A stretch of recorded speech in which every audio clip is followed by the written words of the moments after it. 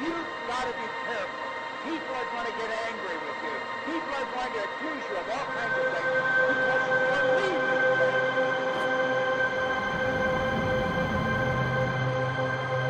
The problem with most people is that they're playing the world's most unrewarding game. And the name of the game is Follow the Follower.